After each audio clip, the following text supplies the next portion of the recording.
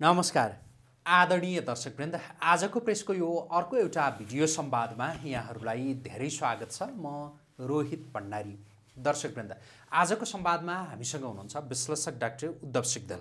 उहाँसँग हामी आजको यो संवादमा विशेष गरी अहिलेको व्यवस्था अब लामो समय टिक्न सक्दैन भनेर जसरी केहीले भनिरहेका छन् के त्यस्तो हो? अनि यो व्यवस्था टिक्न सक्दैन भने कुन चाहिँ व्यवस्था आउँछ र कस्तो व्यवस्था आउला हामी उहाँसँग यही विषयमा केन्द्रित रहेर कुराकानी गर्छौँ। म उहाँलाई स्वागत गर्छु। स्वागत छ हजुर धन्यवाद। आराम हुनुहुन्छ? ठिक छ। अहिले केहीले यो व्यवस्था लामो समय टिक्न सक्दैन भनेर भनिरहेका छन्। तपाईँलाई के लाग्छ? यो व्यवस्थाको आयु सकिन सकिन लागेको हो? या जसले यसो भनिरहेका छन् यो व्यवस्था सकियोस् यो व्यवस्था सिद्धियोस् भन्ने व्यक्तिहरूको त्यो चाहना मात्रै हो? व्यवस्था सक्न ठुलो कुरा होइन। म अब यसरी जान्छु है। व्यवस्था सक्न ठुलो कुरा होइन। व्यवस्था सकिएपछि के? त्यो प्रश्न चाहिँ सबैभन्दा महत्त्वपूर्ण हो। व्यवस्था भने चाहिँ त परिवर्तन भइरहन्छ नि हेर्नुहोस्। व्यवस्था भने कुनै स्थायी होइन संविधान स्थायी होइन व्यवस्था स्थायी होइन। स्थायी भनेको चाहिँ यो राष्ट्र र नागरिक मात्रै हुन्। त्यसले गर्दाखेरि चाहिँ व्यवस्था परिवर्तन हुन सक्छ। देन आफ्टर के? त्यो महत्त्वपूर्ण कुरा हो। र आज चाहिँ व्यवस्था जान्छ यो भोलि नै ढल्छ यहाँ धेरै थरीका धेरै सुनिन्छ। वास्तवमा यथार्थमा त्यस्तो होइन। यो व्यवस्था ढल्छ भनेर सुन्न थालेकै पाँच सात वर्ष भयो जो धेरै अलि व्यापक रूपमा के जति बेला सो ज जहिलेबाट सोसियल मिडियाहरू अगाडि आए त्यही बेलादेखि नै यो सुनिन थालेको होइन? यो व्यवस्था अहिलेको व्यवस्था त्यति कमजोर भइसक्यो र कमजोर भइसक्यो भनेर भन्दा पनि डेलिभर गर्न सकेको छैन। डेलिभर गर्न नसकेपछि त्यो व्यव- व्यवस्था स्वतः कमजोर नै हो। यसमा यति धेरै कन्ट्राडिक्सन्सहरू छन् यो व्यवस्थामा। यो संविधानमा यति धेरै कन्ट्राडिक्सन्सहरू छन्। तर त्यो कन्ट्राडिक्सनका बावजुद पनि चाहिँ के हुन्छ भन्दाखेरि चाहिँ यो अगाडि नै जान्छ। हेर्नुहोस्। किन भन्दाखेरि चाहिँ हामीले कुनै पनि कुराहरू गर्दाखेरि चाहिँ त्यो जनमतलाई हेरेर कुरा गर्नुपर्ने चाहिँ देखिन्छ। जस्तो जनमत कतातिर छ त? भनेर भन्दाखेरि चाहिँ जनमतलाई हेर्ने हो भने आज पनि चाहिँ यो देश विगत चाहिँ तपाईँको चाहिँ सात दशकको जुन एउटा मन्थन हो त्यो मन्थनले कतातिर लिएर गएको छ भन्दाखेरि चाहिँ पश्चिममा चाहिँ जुन दृष्टिकोण छ जुन आधुनिक राज्यको चाहिँ आधुनिक लोकतन्त्रको चाहिँ जुन अवधारणा छ जुन दृष्टिकोण छ त्यो दृष्टिकोणबाट चाहिँ यसलाई चाहिँ अगाडि चाहिँ हिँडाइएको छ। त्यसले गर्दा यसको विकल्पमा चाहिँ यो भनेर नआउन्जेलसम्म तपाईँको चाहिँ यो व्यवस्था चलिरहन्छ। जस्तो अहिले विश्वमा पनि ठुलो बदलाव भइरहेको छ होइन? विश्वमा बदलाव कसरी भइरहेको छ भन्दाखेरि लोकतन्त्रको चाहिँ विकल्प भनेको चाहिँ त्यो लोकतन्त्रको चाहिँ एउटा भनौँ न सुधारिएको अथवा चाहिँ त्यसले चाहिँ डेलिभर गर्न सक्ने खालको चाहिँ लोकतन्त्र भनेर चाहिँ भनिएको छ। तर लोकतन्त्रको विकल्प चाहिँ लोकतन्त्र नै भनिएको छ। त्योभन्दा अरू कुनै तन्त्र भनेर चाहिँ अहिलेसम्म चाहिँ अभ्यासमा लिएर आएको छैन। त्यो भएको कारणले गर्दाखेरि चाहिँ व्यवस्था गइहाल्छ व्यवस्था उखलिहाल्छ। होला संविधान चाहिँ जाला संविधानका चाहिँ कति प्रावधानहरू चाहिँ जालान्। तर चाहिँ यसो चाहिँ व्यवस्था चाहिँ ढङ्गै ढलिहाल्ने अर्को परिवर्तन भएर आइहाल्ने भन्ने स्थिति छैन। किन भन्दाखेरि चाहिँ आज पनि लेफ्ट र लेफ्ट लिबरलहरूको नेपालमा अस्सी प्रतिशतभन्दा बेसीको जनमत छ। तिनीहरू व्यवस्थामा चाहिँ तु- कमजोरी छ त्रुटि छ संविधानमा चाहिँ कमजोरी छ त्रुटि छ तर अहिले तत्कालको लागि विकल्प छैन भन्ने कुराहरूमा चाहिँ आम त्यो अस्सी प्रतिशत जन जनमानस चाहिँ त्यसप्रति चाहिँ तपाईँको चाहिँ सचेत छ। विकल्पका रूपमा नि अब राज संस्था राज संस्था भनेर जसले भनिरहेका छन् नि त्यो विकल्प हो कि होइन त? अब? यस्तो छ राज संस्था विकल्प चाहिँ अहिले तत्कालको लागि होइन। किन? तत्कालको लागि किन पनि विकल्प होइन भनेर भन्दाखेरि देश धेरै अगाडि नै गइसकेको छ। जस्तो भने एउटा चाहिँ परिवेश र परिस्थिति हुन्छ। त्यो परिवेश र परिस्थितिलाई देशले चाहिँ अगाडि लिएर गइसकेको अवस्था छ। त्यो भएको कारणले गर्दाखेरि चाहिँ राज संस्था चाहिँ तत्कालको लागि चाहिँ विकल्पको रूपमा चाहिँ त्यो ढङ्गले बुझ्नु त्यसलाई अस्वाभाविक रूपमा मानिँदैन। त्यो स्वाभाविक नै हो। तर विकल्प नै राज संस्था चाहिँ होइन। किन भन्दाखेरि समाज परिवर्तन सँगसँगै चाहिँ यो चाहिँ प्रोग्रेसिभ अर्डरमा चाहिँ जान्छ। किनभने राज संस्थाका पनि चाहिँ बारेमा कुरा गर्दाखेरि पृथ्वीनारायण शाहको बारेमा चाहिँ एक ढङ्गको चाहिँ हाम्रो बुझाइ छ एक ढङ्गको चाहिँ उहाँप्रतिको दृष्टिकोण छ। तर सबै चाहिँ पृथ्वीनारायण शाहका चाहिँ सन्तान दर सन्तानहरू पृथ्वीनारायण शाह जस्तै छन् भनेर भन्ने कुराहरू रहँदैन। त्यसले गर्दा एउटा सामान्य चाहिँ नागरिकले पनि के सोध्छ भने यदि मेरो चाहिँ छोराछोरी नै चाहिँ यो देशको चाहिँ प्रथम नागरिक हुन्छ भने किन नहुने? हर कोहीले सोध्छ। त्यसले गर्दा त्यो प्रोग्रेसनतिर चाहिँ समाज अगाडि बढिरहेको हुन्छ। त्यसले गर्दाखेरि त्यो ब्याक हुने भन्ने कुराहरू होइन। हो नेपालको चाहिँ राजनीतिमा के हो भन्दाखेरि चाहिँ यसको भू राजनीतिक महत्त्वको कारणले गर्दाखेरि चाहिँ जसरी चाहिँ राज संस्थालाई चाहिँ बहिर्गमन गराउनु पर्ने थियो त्यसरी बहिर्गमन गराइएन। यति बेला राज संस्थाका पक्षमा चाहिँ त्यो माहौल बन्दै गएको जनमत बढ्दै गएको जो भनिन्छ नि यसमा सत्यता छ या छैन? होइन सत्यता त छ नि। नेपालमा चाहिँ राज संस्थाको पक्षमा चाहिँ बिस प्रतिशत जनमत त जहिले पनि हुन्छ। बढ्दै गएको चाहिँ हो कि होइन? होइन बढ्दै गएको होइन। त्यो बिस प्रतिशत चाहिँ अहिलेसम्म चाहिँ साइलेन्स थियो। साइलेन्स भएको बिस प्रतिशत चाहिँ बाहिर आइदिँदै गर्दाखेरिमा चाहिँ त्यो जनमत देखियो। बढेको होइन जति थियो त्यो मौन थियो अहिले बोल्न थाले त्यो होइन मेनिफेस्टेड फर्ममा थाल्यो आयो। जति बेला देशबाट राज संस्थाको गर्दाखेरि- त्यति बेला पनि त्यो तपाईँले भनेको बिस प्रतिशत थियो। थियो। तर भर्खर संस्था। गएको गणतन्त्र घोषणा भएको स्थितिमा उनीहरू बोल्न सक्ने अवस्थामा थिएन। त्यति मात्रै होइन माओवादीको चाहिँ बन्दुकको राप र ताप पनि थियो त्यति बेला। त्यति बेला राजा राज संस्था भन्न भन्दाखेरि त असर गर्न सक्थ्यो। असर गर्न सक्थ्यो। त्यो भएर पनि बोलेनन्। बोलेनन्। तर त्यो चाहिँ के भन्दै पछिल्लो समयमा मुखरित भएर आयो। त्यो मुखरित भएर आउँदै गर्दाखेरिमा चाहिँ राज संस्थाको त जन्म देखियो। र संसारभर तपाईँले हेर्नुभयो भने पनि चाहिँ पन्ध्रदेखि बिस पच्चिस पच्चिस प्रतिशत जति हरेक देशमा चाहिँ त्यो परम्परागत शक्ति चाहिँ रहन्छ। रहन्छ त जहिले पनि रहन्छ। आज पनि चाहिँ लुइस तेस्रोको बारेमा चाहिँ फ्रान्समा कुरा भइरहेको हुन्छ त्यो जनमत छ त्यहाँ पनि। त्यसले गर्दाखेरि त्यो जनमत रहिरहेको हुन्छ। त्यो जनमत त्यति बेला मात्रै चाहिँ कारगर हुन्छ जति बेला चाहिँ मूल प्रभावमा चाहिँ जो प्लेयरहरू छन् खेलिरहेका राजनीतिक कर्मीहरू छन् तिनीहरू त्यसमा जोडिन्छन्। अब त्यो बिस प्रतिशत तपाईँले भनेको बिस प्रतिशतले नि चालिस पचास साठी प्रतिशत अरूलाई तान्न सक्ने आफूतिर आकर्षित गर्न सक्ने सम्भावना छ कि छैन? त्यो सम्भावना छ। कसरी छ त्यो चाहिँ? त्यो सम्भावना के छ मूल प्रवाहका राजनीतिक दलहरू यदि सत्ता जान्छ भोलि चाहिँ राष्ट्रिय स्वतन्त्र पार्टी जस्ताहरूले चाहिँ सत्ता कब्जा गर्ने चाहिँ स्थिति आयो भने उनीहरू फेरि त्यहाँनिर चाहिँ जोडिन सक्ने स्थिति हुन्छ। त्यसले चाहिँ अर्को माहौल क्रिएट गर्छ फेरि। रासपाले ठुला राजनैतिक दलहरूलाई धक्का दिने त्यो पनि ठुलै धक्का। ठुलै धक्का। को सम्भावना देखियो भने रासपा मात्रै नभनौँ। काङ्ग्रेस एमाले माओवादीहरू राज संस्था मान्नतिर लाग्छ। अब कम्युनिस्टहरूलाई चाहिँ गाह्रो हुन्छ तर चाहिँ उनीहरू चाहिँ लुकेर तर काङ्ग्रेसीहरू चाहिँ फ्रन्टबाटै चाहिँ जान सक्ने स्थिति चाहिँ रहन्छ। एउटा। जस्तो भनौँ न जसरी चाहिँ यो देशको चाहिँ धर्म संस्कृति इतिहासको जुन विखण्डन भएको छ इभन समाजै विखण्डन भएको छ अब जस्तो मधेसीहरूको चाहिँ सिके राउतहरू राष्ट्र त मान्दैनन् थारूहरू राष्ट्र त मान्दैनन् पहिचान बाई त राष्ट्र त मान्दैन नि त। एकातिर चाहिँ त्यसरी चाहिँ मूल प्रवाहका राजनीतिक दलहरूको चाहिँ जनमतलाई चाहिँ उखेल्ने काम भइरहेको छ। अर्कोतर्फ चाहिँ तपाईँको चाहिँ विशेष गरेर चाहिँ मध्य पहाडदेखि लिएर पूर्व मेचीसम्म चाहिँ राष्ट्रिय स्वतन्त्र पार्टीले चाहिँ एक तहमा चाहिँ आफ्नो जनमत बनाइरहेको छ। होइन? भनेपछि मूल प्रवाहका राजनीतिक दलहरू खुम्चिने स्थिति आयो भने पुनः फेरि काङ्ग्रेसको नेतृत्वमा राष्ट्र संस्थासँग मिल्यो भने त त्यो तपाईँको बिस प्रतिशतको जन्म त चालिस पचास साठी प्रतिशतको हुने भयो नि त। तर फेरि खुम्चिएको त्यति बेला तपाईँले भनेअनुसार खुम्चिएको नेपाली काङ्ग्रेसको नेतृत्वमा राज संस्था फेरि पुनस्थापना हुन सक्छ सानो भइसकेको अवस्थामा। नेपाली काङ्ग्रेस जति सानो हामीले चाहिँ सोचिन्छ त्यति सानो चाहिँ हुँदैन। होइन? त्यति सानो चाहिँ हुँदैन। उसले एक एक खालको चाहिँ हैसियत राखेको हुन्छ र सबैभन्दा महत्त्वपूर्ण कुरा के उसको चाहिँ राजनीतिक हैसियत चाहिँ छ वजुद छ उसको इतिहासले त्यो कुरालाई चाहिँ प्रमाणित गर्छ। जस्तो म यहाँलाई एउटा सामान्य उदाहरण दिन्छु। भारतमा चाहिँ त्यति खुम्चिएको दस प्रतिशत पनि नभएको काङ्ग्रेस अहिले चाहिँ भारतीय चाहिँ जनता पार्टीदेखि लिएर भारतीयको आजको संस्थापनलाई कसरी चुनौती दिइरहेको छ? त्यसमा चाहिँ त्यो शक्ति भनेको के हो भन्दाखेरि डेमोक्रेसीको चाहिँ हामी भनेको पर्याय भयो भनेर चाहिँ उसले आफूलाई स्थापित गरेको छ। त्यसमा त्यो शक्ति सानो हुँदै गर्दाखेरिमा चाहिँ त्यसले के कुरा निर्णय गर्छ त्यसले महत्त्वपूर्ण भूमिका निर्वाह गरेको हुन्छ। जस्तो पछिल्लो समयमा अहिले चाहिँ गाईगुइङहरू आइरहेको छैन। होइन नि शेरबहादुर देउबा पहिला त कम बोल्ने मान्छे हुनुहुन्छ। उहाँले दुई पटक बोलिसक्नुभयो।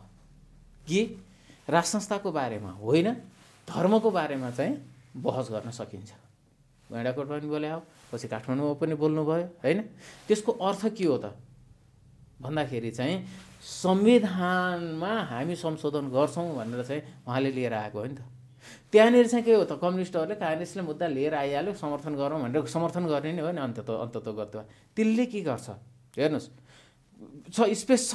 त्यसले के गर्छ भन्दाखेरि तपाईँले संविधानका महत्त्वपूर्ण उपलब्धिहरू भनेका गणतन्त्र धर्मनिरपेक्षता र सङ्घीयता यी तिनवटा मध्ये तपाईँले कुनै एउटा मात्रै चलाइदिने दुईवटा सुत जान्छ।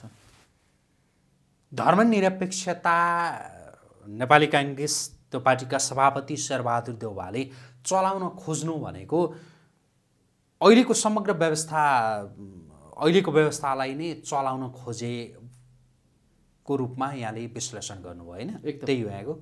बुझाइ भनेको त्यो। जस्तो एउटा उदानका उदानका तिनवटा खुट्टा उदानका तिनवटा खुट्टामा अहिलेको यो व्यवस्था अडिरहेको भनेर मान्दाखेरि एउटा खुट्टो धर्मनिरपेक्षतालाई मात्रै बाँच्दिने हो भने त्यो उदान अडिन सक्दैन। अडिन सक्दैन।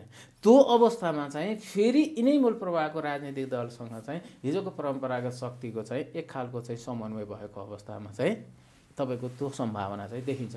तर अहिले तत्कालको लागि त्यो सम्भावनाहरू चाहिँ देखिँदैनन्।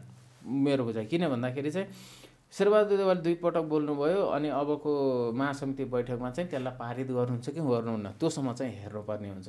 यदि त्यो कुरा चाहिँ पारित भयो भने नेपालमा चाहिँ परिवर्तन हुँदैछ है भन्ने कुराको चाहिँ हामीले सङ्केत चाहिँ त्यहाँबाट चाहिँ पाउने हो। तर फेरि शेरबहादुर देउवाले नै चाहने हो भनेदेखि त नेपाली काङ्ग्रेसको जुन बैठकबाट होइन त्यो पारित हुनलाई त्यत्रो हम्मे नपर्ला नि हम्मै? नपर्ला। तर के भने नि यहाँभित्रको चाहिँ हरेक राजनीतिक दलको चाहिँ निर्णयहरू भनेको चाहिँ त्यो दलको चाहिँ नेतृत्वले मात्रै गर्दैन। त्यो एजेन्डा कहीँ न कहीँबाट आउनै पर्ने हुन्छ। किनभने नेपालको राज संस्थालाई चाहिँ हामी नेपालीले फालेकै होइन। हामीले त्यो पनि बुझ्नुपर्छ। त्यो फालिदिएको त कसैले हो? दुईवटा शक्तिहरूको इन्ट्रेस्टमेन्टले नेपालबाट राज संस्था गयो। न कुनै विधि विधान प्रक्रिया नै। त्यसै हचुवाको भरमा हो नि त त्यो फालिएको भनेको चाहिँ। त्यसले गर्दाखेरि चाहिँ अब के हो भन्दाखेरि हाम्रो राजनीतिक दलहरूले चाहिँ एकपटक चाहिँ होइन। अब नयाँ आउनेहरूसँग चाहिँ लड्नुभन्दा त बरु राज संस्थालाई चाहिँ चाहिँ बोकेर एकपटक फेरि राजनीति जोगिन्छ भन्ने चाहिँ लाग्यो भने चाहिँ त्यो बाटोमा पनि चाहिँ नेपालको राजनीतिक दलहरू जाने हो। तर त्यो सम्भावना चाहिँ छिँड्छ किन भन्दाखेरि जसरी नेपाली समाज चाहिँ पोलराइज भएको छ जसरी नेपाली समाज चाहिँ खण्डीकरण भएको छ त्यो खण्डीकरणले चाहिँ मलाई लाग्छ त्यतातिर चाहिँ जान दिँदैन। अगाडि नै बढ्छ। अगाडि नै जान चाहिँ सङ्केत गरिरहेको छ। राज संस्थाको यो एजेन्डा बजारमा त्यो सुनिए पनि केही समूह र दलहरूले बोके पनि राज संस्थातिर देश फर्किन सक्ने सम्भावना चाहिँ न्यून छ त्यो त्यो यस- यसबाटै यहाँहरूले पनि अब्जर्भ गर्नुभएको छ नि। कतिवटा चाहिँ त्यो राज संस्था चाहिँ पुनर्स्थापना गर्नु गर्नुपर्छ भनेर झुन्डहरू छन् हेर्नुहोस् त। किन त्यो झुन्डहरू एक ठाउँमा आउन सक्दैन? के कारण हो? अनि पछि चाहिँ त्यो झुन्डमा चाहिँ सबैभन्दा ठुलो झुन्डको रूपमा चाहिँ दुर्गा प्रसादजीहरू आउनुभयो। होइन? खै त दुर्गा प्रसादजीहरूले पनि तिनीहरूलाई एकट्ठा गर्न त सक्नु भएको छैन नि। कमल थापा पनि राज संस्था नै बन्ने राजेन्द्र निगुदेल राज संस्था बन्ने दुर्गा प्रसाद राज संस्था बन्ने अर्का ती विष्ट राज संस्था बन्ने अर्का चाहिँ राज संस्था बन्ने किन यो चाहिँ अलग अलग? यहीँनिर हो चाहिँ समस्या भनेको चाहिँ यदि साँच्चै नै राज संस्थावादीहरू राज संस्थै चाहेको भयो भने त एक ठाउँमा बस्थ्यो होला नि त। उनीहरूको किन स्वार्थ मिलिरहेको छैन? अनि त्यो स्वार्थमा चाहिँ गणतन्त्रवादीहरू खेलिहाल्छन् नि। त्यो स्वाभाविक हो। त्यसले गर्दाखेरि अहिले तत्कालको लागि चाहिँ त्यो स्थिति चाहिँ छैन मैले देखेको। र अनि राज संस्था पक्षधरहरू त अब हामी आन्दोलन गर्छौँ व्यापक गर्छौँ कसैले फागुन एकको मिति घोषणा गरेका छन् कसैले कुन मिति घोषणा गरेका छन्। अब व्यापक रूपमा आन्दोलन गरेर हामी यो व्यवस्था फाल्छौँ भनेर भनिरहेका छन् नि। त्यो भन्नका लागि मात्रै हो? भन्नका लागि मात्रै होइन। किनभने टेस्टेड पनि भइसक्यो। टेस्टेड के भयो भनेर भन्दाखेरि चाहिँ दुर्गा प्रसाईले चाहिँ यति धेरै एजेन्डाहरू लिएर आयो नि त्यो एजेन्डामा मान्छे जुटे। कि अहिलेको चाहिँ जुन संवैधानिक चाहिँ प्रावधान छ जुन नीतिविधि छ यो नीतिविधिले चाहिँ आम नागरिकहरूलाई चाहिँ शोषण मात्रै गर्यो। यसले कुनै पनि खालको डेलिभरी गर्न सकेन भन्ने कुरा त स्पष्ट हो। त्यस त्यसलाई फेरि अब लुकाउनु पर्ने केही पनि छैन त्यो स्पष्ट हो। त्यसका विरुद्धमा अर्थात् मूल प्रवाहको राजनीतिका विरुद्धमा चाहिँ सडकमा आए अर्थात् त्यो सडकमा आएकाहरूले चाहिँ के सङ्केत गरेको छ भने विद्रोहको लागि नागरिक तयार छ। तर कुन एजेन्डा भन्ने कुरामा चाहिँ क्ल्यारिटी छैन। राष्ट्र लागि मात्रै भनेर एउटा सिङ्गल एजेन्डा लिएर गएको भएदेखि चाहिँ जनमत कति आउँथ्यो त्यो टेस्ट गर्न सकिन्थ्यो। त्यहाँनिर आर्थिक मुद्दा पनि छन् सामाजिक मुद्दा पनि छन् राष्ट्र संस्था मुद्दा पनि छन् धर्मको मुद्दा पनि छन् सबै मुद्दाहरू छन्। र मान्छे कुनै न कुनै रूपमा चाहिँ त कुनै न कुनै मुद्दासँग त जोडिएको छ। त्यो जोडिएको मुद्दामा भएको मान्छेहरू आए। तर ठिक ढङ्गबाट चाहिँ राज संस्थाकै बारेमा कति छन् भनेर चाहिँ एकचोटि चाहिँ तपाईँको प्रयास गर्ने हो भने चाहिँ त्यसबाट चाहिँ देखिन सक्थ्यो होला। तर जुन ढुङ्गाबाट चाहिँ राज संस्थावादीहरूले चाहिँ परिवर्तन भइहाल्छ अगाडि जान्छ भन्ने जुन कुराहरू छन् त्यो कुराहरू चाहिँ त्यति सहज पनि छैन। र जसरी चाहिँ ढुक्कसँग चाहिँ गणतन्त्रवादीहरू बस्या छन् भन्ने कुराहरू पनि होइन। अप्ठ्यारो अप्ठ्यारोमै छ। र अब सबैले हेरेको के हो त? भन्दाखेरि चाहिँ राज संस्थावादीहरू अथवा राजाको एउटा चाहना के हो भन्दाखेरि चाहिँ राज संस्थाको चाहिँ जसरी चाहिँ बहिर्गमन भयो त्यो बहिर्गमनप्रति चाहिँ उनको असहमति छ। र राज संस्था पुनर्स्थापना भयो भने पनि चाहिँ मूल प्रवाहका राजनीतिक दलहरूको चाहिँ सहयोगमा राज संस्था पुनर्स्थापना भयो भने चाहिँ त्यसबाट चाहिँ त्यसको ड्युरेसन ड्युरेबिलिटी चाहिँ लामो हुनसक्छ भनेर चाहिँ राज संस्थाले चाहिँ त्यो खालको दबाब दिनलाई मूल प्रवाहका राजनीतिलाई दबाब दिनलाई चाहिँ यो जुन अहिले चाहिँ जसरी चाहिँ नागरिक सम्वाद गर्दै उनी हिँडिरहेका छन् त्यसको एउटा महत्त्वपूर्ण कारण त्यही त्यो हो। होइन भने उनकै बलमा मात्रै राज संस्था आउँछ भन्ने कुरा त राजालाई पनि त्यो विश्वास छैन र राजावादीहरूलाई त त्यो झन् विश्वास छँदै छैन। मात्रै के हो भन्दाखेरि परम्परागत राजनीतिक चाहिँ दल र राज संस्थावादीहरू चाहिँ एक ठाउँमा हुने कि नहुने भन्ने मात्रै महत्त्वपूर्ण कुरा हो। र राजाले आम नागरिकसँग संवाद गरेर चाहिँ राजनीतिक दलहरूलाई चाहिँ दबाब दिन खोजेको तर राजनीतिक दलहरूले चाहिँ त्यो दबाबलाई के गरे भन्दाखेरि चाहिँ कहीँ न कतै चाहिँ गएर चाहिँ जो हिजो आफूलाई चाहिँ सत्तासँग पुर्याउने चाहिँ शक्तिहरू हुन् चाहे त्यो अन्तर्राष्ट्रिय शक्ति भनौँ चाहे त्यो छिमेकी शक्तिहरू भनौँ भने त्यो शक्तिसँग गएर चाहिँ उनीहरू सम्झौता गरिदिँदै गर्दाखेरिमा राज संस्थाको चाहिँ जुन मुद्दा हो त्यो कमजोर हुँदै चाहिँ जाने स्थिति त्यो दबाब चाहिँ छ नि। त्यो दबाबबाट ठुला राजनीतिक दलहरू त्यो आत्तिएका तर्सिएका त्यस्तो अवस्था चाहिँ छ कि छैन त्यस्तो छैन अवस्था। किन भन्दाखेरि उनीहरू कुनै न कुनै चाहिँ टेकोमा अडिएका छन् यहाँ। चाहे त्यो पश्चिमाहरूको टेक होस् चाहे इन्डियनहरूको टेक होस् त्यो टेकोमा चाहिँ नेपालका मूल प्रकारका राजनीतिक दलहरू अडिएका छन्। त्यो अडिएको कारणले गर्दाखेरि पश्चिमा र इन्डियनहरूलाई चाहिँ तपाईँको दरकिनार गरेर चाहिँ राज संस्था नेपालमा स्थापित हुन्छ भन्ने कुरा सम्भवै छैन। किनभने फालेका तिनैले नै हुन्। र तिनीहरू ल्याउँछन् भने एउटा कुरा अब होइन भने पनि चाहिँ उनीहरूले त के हो भन्दाखेरि नेपाल जति थप कमजोर अस्थिर हुँदै जान्छ त्यति नै चाहिँ आफ्ना चाहिँ उनीहरूका रणनीतिहरू यहाँ लागू गर्न सकिन्छ। हामी यहाँ सामान्य रूपमा चाहिँ बहसमा पनि चाहिँ हामी के पाउँछौँ भन्दाखेरि चाहिँ भारत नेपालमा चाहिँ हिन्दू राष्ट्र होइन को लागि चाहिँ बल गरिरहेको छ भन्ने खालको कुराहरू गरिन्छ कि। उसले हिन्दू राष्ट्रको लागि बल पनि गर्दैन राज संस्थाको लागि पनि बल गर्दैन उसले आफ्नो स्वार्थका लागि मात्रै बल गर्छ। त्यो स्वार्थभित्र हिन्दू राष्ट्र राज संस्था पर्दैन। पर्दैन। उसको स्वार्थभित्र पर्छ किनभने हिन्दू राष्ट्र हिन्दू राष्ट्र राज संस्था भयो भने त यो देश त स्टेबिलिटीतिर जान्छ नि त। स्थिरतातिर जान्छ नि यो देश। भारत स्थिर भारत नेपाल स्थिर भएको नेपाल स्थिर भएको देख्न चाहँदैन। त्यो भएर ऊ राज संस्था या हिन्दू राष्ट्र चाहँदैन। चाहँदैन। यहाँ नेपालमा भद्रगोल मात्रै चाहन्छ र नेपालका राजनीतिक दलहरू कमजोर भएकोमा र उनीबाट चाहिँ म्याक्सिमम् के लिन सकिन्छ? अनि चिन र पश्चिमा शक्तिहरू नि। अब चिनको चाहिँ बुझाइ के भन्दा नेपालमा चाहिँ स्थिरता होस् भन्ने चाहिँ चिनको बुझाइ हो। त्यो स्थिरताका लागि त्यो होइन उसले के भने राज संस्थाबाट स्थिरता हुन्छ भने चाहिँ ऊ राज संस्था चाहन्छ। चिन। उसको अहिलेसम्म त्यो बुझाइ होला कि नहोला? उसको बुझाइ छ। उसको स्पष्ट बुझाइ छ। स्थिरता भनेको चाहिँ संस्थाबाट मात्रै सम्भव छ। अन्य राजनीतिक दलहरू भनेको चाहिँ त त्यो त बेला बेलामा उनीहरूको स्टेटमेन्टबाट पनि देखिन्छ नि त। यिनीहरू भने कोही इन्डियनतिर चाहिँ हुन् कोही पश्चिमातिरका हुन्। यो वास्तवमा चाहिँ यिनीहरूसँग डिल गर्नुको कुनै अर्थ छैन भन्ने कुरा त। चिनले राम्रोसँग बुझेको छ नि त। त्यसले गर्दा राष्ट्रसँग डिल गर्दै गर्दाखेरिमा चाहिँ वास्तवमा चाहिँ चिन र चाहिँ नेपालको बिचको चाहिँ डिल हुन्छ भन्ने कुराहरूमा उनीहरू धेरै पहिलेदेखि नै आश्वस्त हुँदै आएका हुन् किनभने उनीहरूको मेमोरीमा छ कि ती सम्पूर्ण कुराहरू चाहिँ अनि चिनको भूमिका चाहिँ कस्तो रहन्छ चिनको भूमिका खासै नेपालमा कारगर रूपमा चाहिँ देखिएको छैन तर पछिल्ला महिनाहरूमा होइन पछिल्ला दिनहरूमा चिनको या जुन खालको चिनिया नेताहरूको चिनिया अधिकारीहरूको उठबस हो त्यो चाहिँ अलिकति बाक्लो भएको होइन छ बाक्लो भएको। छ एउटा त्यो चाहिँ लागि त? होइन विश्वको शक्ति हो उसले चाहिँ दबाब दिनको लागि नेपाली नेताहरूलाई दबाब दिनलाई चाहिँ त्यो कुराहरू पनि गरिरहेको हुन्छ। कतिपय व्यापारमा चाहिँ हात पनि हालिरहेको हुन्छ होइन? ठेकापट्टाहरू पनि लिइरहेको हुन्छ होइन? त्यो सबै कुराहरू गरेको हुन्छ। तर राजनीतिक रूपमा चाहिँ निर्णायक रूपमा चाहिँ प्रस्तुत हुन सक्ने अवस्थामा चाहिँ चिन छैन। किनभने नेपालमा उसको त्यस्तो भरपर्दो चाहिँ सहयात्री अथवा पार्टनर छैन।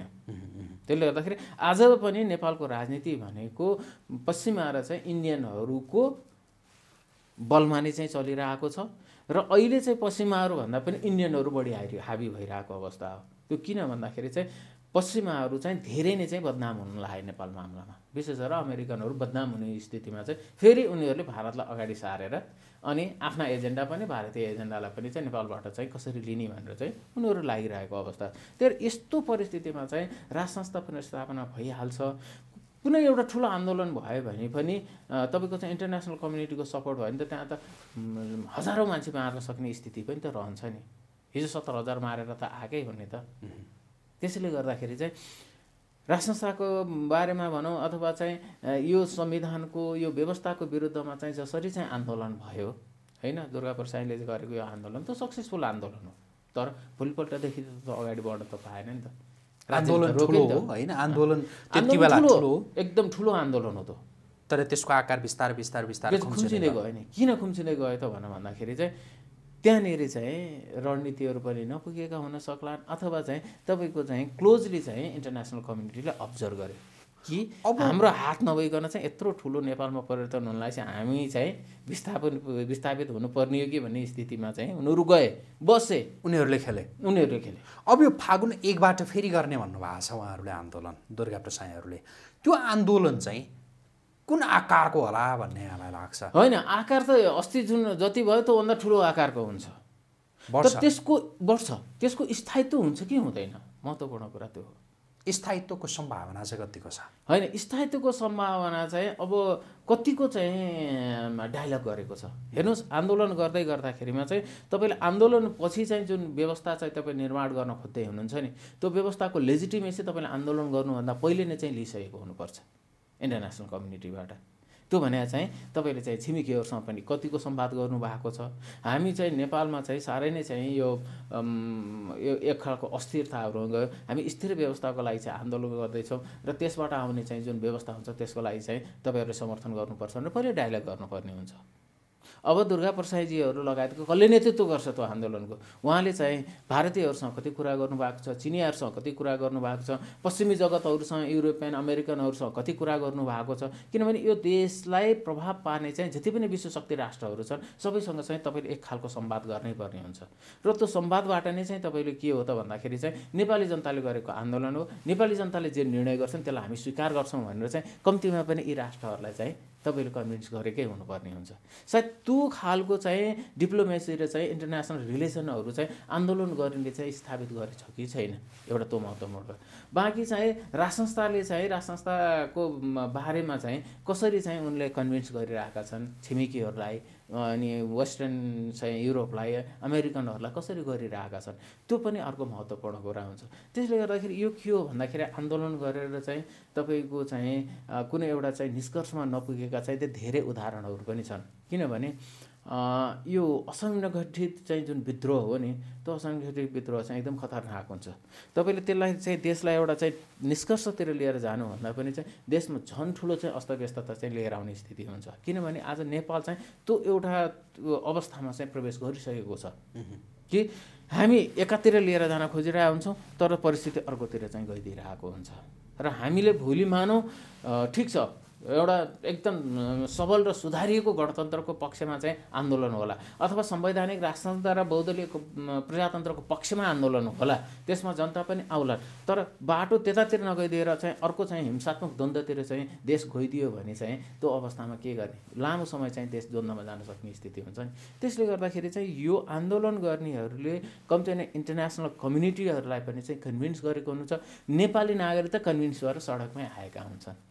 त्यो भएर अहिलेको राज्य व्यवस्था सञ्चालन गर्नु भनेको चाहिँ यो दुईवटैको चाहिँ समन्वयबाट हो। र त्यो समन्वय गर्नको लागि चाहिँ कति सक्सेस भएको छ छैन भन्ने कुराहरू चाहिँ अहिलेसम्म चाहिँ आइसकेको छैन। तर केही सङ्केतहरू चाहिँ आएका छन्।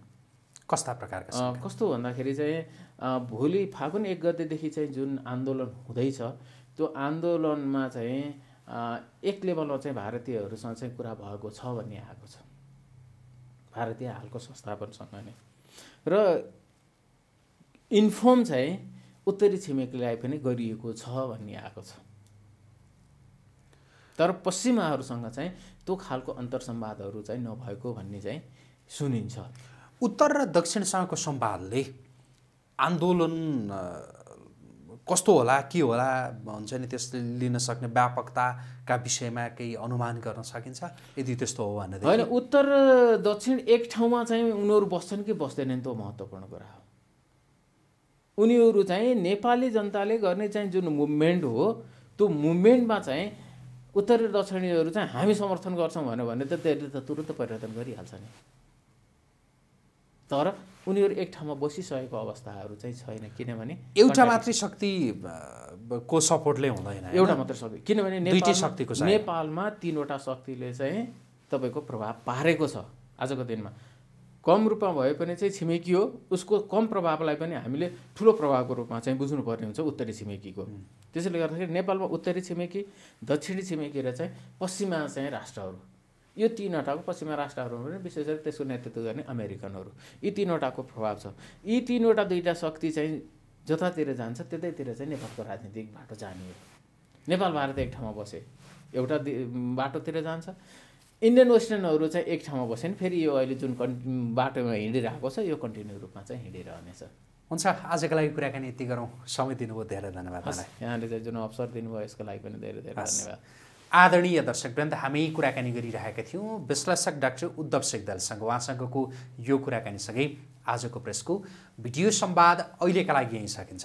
पल पलको अपडेट ताजा बहस र विश्लेषणात्मक टिप्पणीका लागि आजको प्रेस हेर्दै गर्नुहोला। नमस्कार।